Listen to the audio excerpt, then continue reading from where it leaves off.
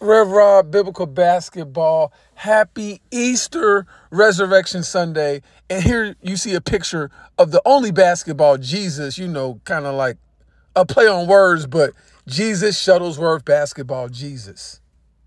Now, Ray Allen played a character named Jesus in a movie called He Got Game, but Ray Allen also has probably the best looking jump shot of all time.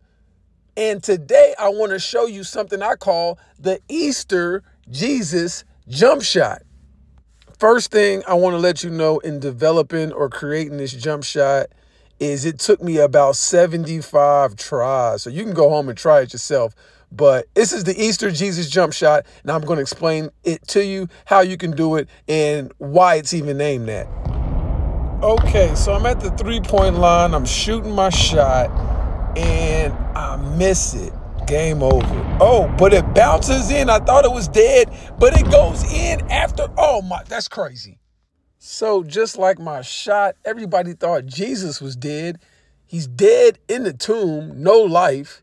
Then three days later, he rises again and he's not dead. He's defeated death. And if we follow Christ, if we give our life to Christ, we also will share in new life after death.